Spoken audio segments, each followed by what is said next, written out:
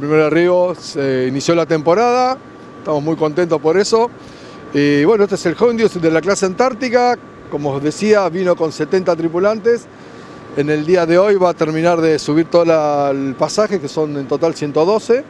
Ya tenemos todo armado en el escáner de puerto para el control de equipaje. Y bueno, en este momento, como ven, están cargando víveres.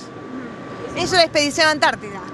Antártica. Claro, sí, sí, sí, sí, son del grupo antártico, del- de los que son antárticos se va para el sur a trabajar allá. Bien. Bueno, te consultábamos también si retorna después al final de la temporada para el puerto de Madrid o no sabemos todavía. Comúnmente este barco arranca acá y termina acá. Eh, en este momento no lo recuerdo, como dije anteriormente, pero más tarde reviso, lo, chequeo la, la lista y les aviso. La seguridad hoy en el puerto tiene que ver y está relacionada justamente con el inicio de la temporada de cruceros, ¿verdad?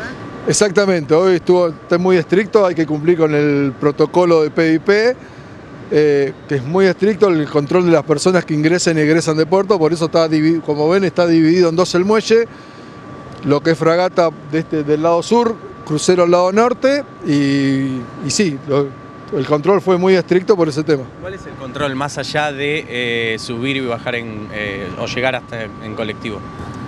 El tema es que tiene que estar identificado todas las personas que entran. No, no puede entrar nadie que no esté relacionado con la actividad del crucero.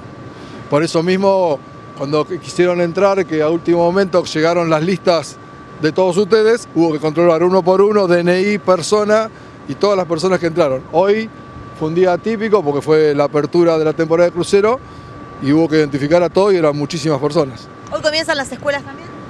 Ahora termina este acto que se está realizando en cubierta y ya empiezan a entrar los- las escuelas. Recordarnos la cantidad de en temporada de cruceros que van a estar ingresando. 49 buques anunciados.